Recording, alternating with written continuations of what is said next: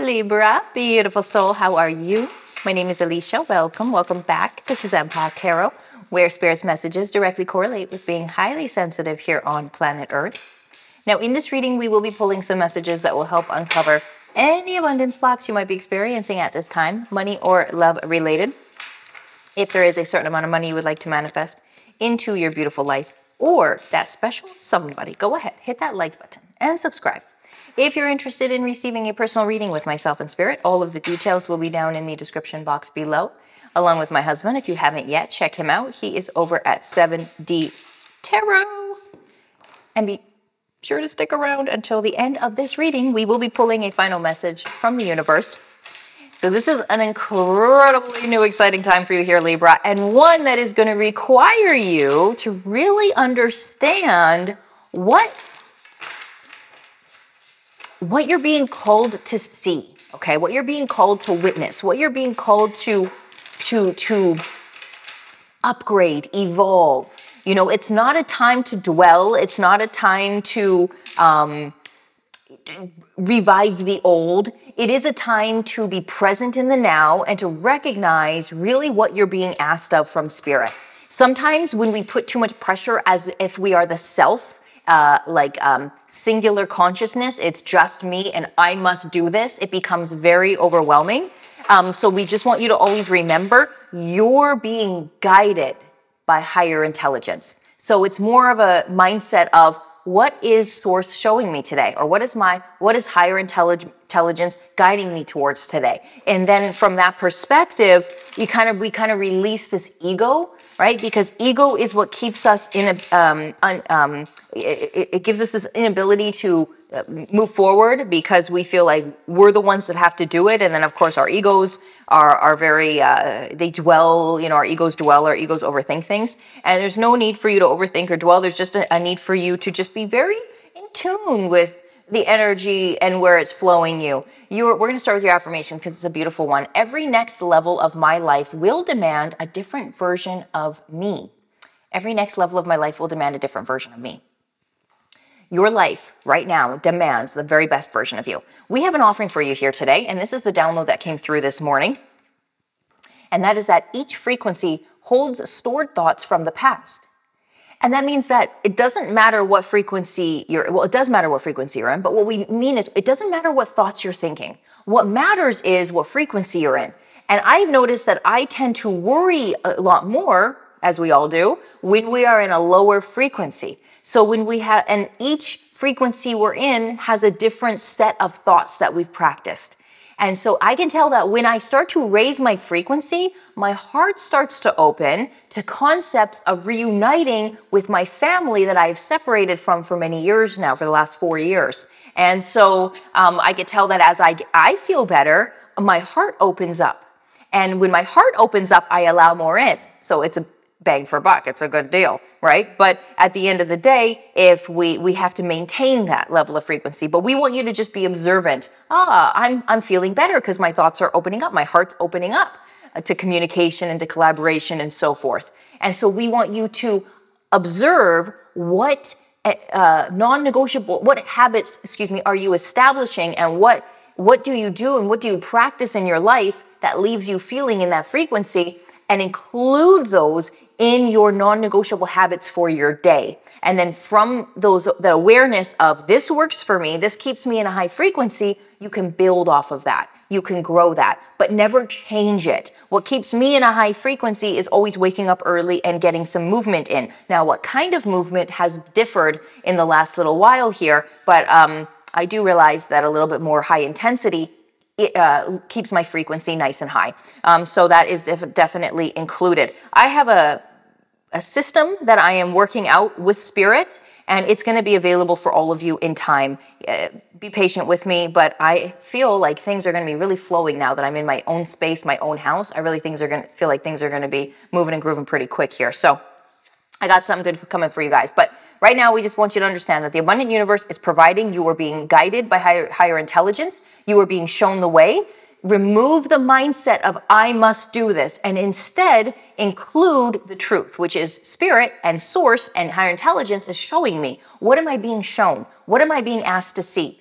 uh, look at life through that lens um, because what that will do is allow you to connect with uh, not crystals, maybe, maybe crystals, but connecting with crystals is more the um, metaphorical message of connecting with frequencies or energies that really resonate with you, that really make you feel, feel, feel good. It's all about feeling good. So initially here, we were seeing that maybe you were a little disconnected from your spiritual truth, from higher intelligence, maybe feeling a little bit pessimistic, maybe feeling a little bit limited in your belief system. And again, that's only because um, of a uh, low frequency. That's only because um, there were certain um, acti- uh, actions that were not being taken that you know you have to do to be in a high frequency. Sometimes we go through these breaks and these and these and these stalls of things that we were doing that made us feel really good, and then we take that break and we're like, well, maybe we want to do something else, but we really got to stay attuned and we really got to stay loyal to the things that we love and it's not and, and we really do love the things that keep us in a high frequency we really, really, really do.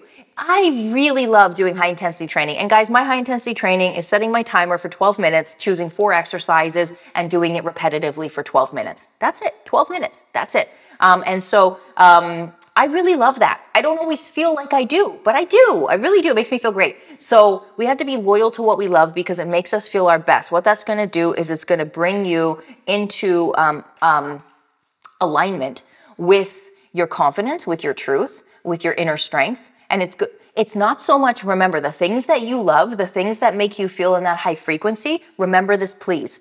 It's not what you get from it, it's what you get out, what you get rid of. Okay. When I wake up and stick to the systems that work, my high intent, my higher intensity workouts, right? Waking up early and these sorts of things it's what I get rid of. I get rid of limiting beliefs. I get rid of fear. I get rid of negativity.